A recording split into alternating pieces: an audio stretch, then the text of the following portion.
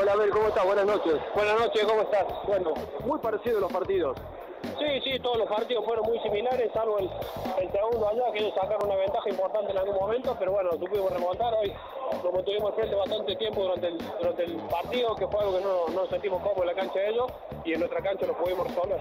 ¿Cuáles fueron los puntos salientes para esta victoria? No, yo creo que lo más importante fue recuperar eh, a Juan, eh, que venía de una gripe, todo el equipo la verdad que estuvo gripado el fin de semana, pero bueno, hoy se recuperaron varios jugadores, se sentían mejor físicamente, yo creo que ese club de, de la parte física nos dio un poquito mejor de defensa, que fue algo que fallamos en los primeros dos partidos.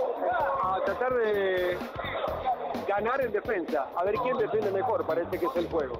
Sí, sí, ambos, ambos equipos venimos durante todo el torneo metiendo más de 80, 90 puntos, somos equipos que estamos acostumbrados a un goleo alto, y hoy no llegamos a 80 puntos ninguno de los dos, yo creo que el que defiende mejor se va a llevar la serie. Seguro. Eh, llegar apretadito y cerradito el marcador en la parte final le generó algo de presión, la cabeza estaba pensando en que esto se terminaba si no ganaban.